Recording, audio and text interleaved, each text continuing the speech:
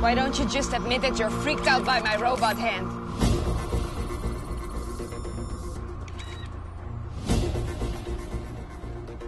Listen, Celia, I was young and a dick, but there's no reason to destroy the world.